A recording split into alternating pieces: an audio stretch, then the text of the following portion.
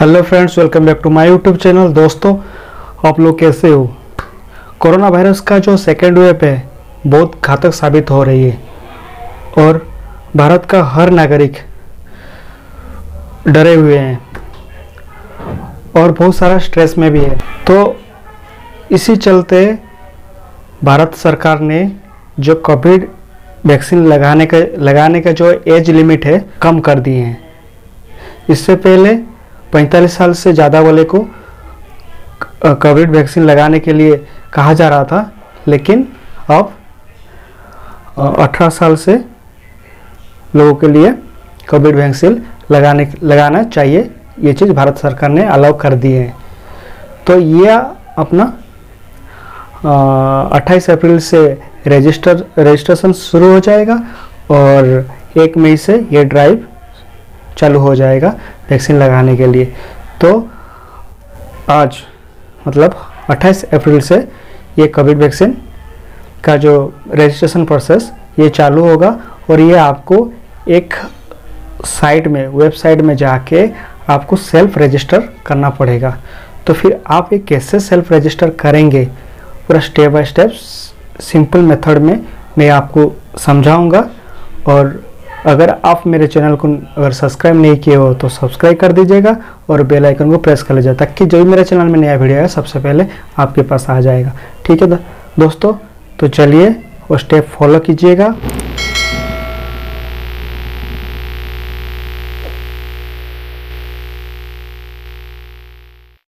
Friends, आप Google Chrome खोलिए, उसमें को को win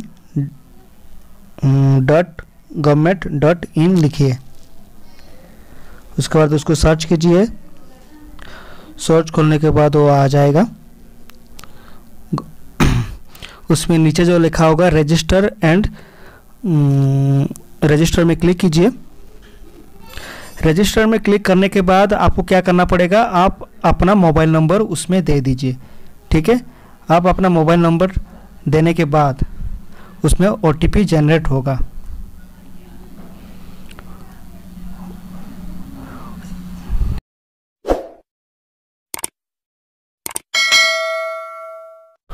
तो जब ओटीपी आपके मोबाइल में आ जाएगा ओ टी पी वहाँ पर आप एंटर कर दीजिएगा।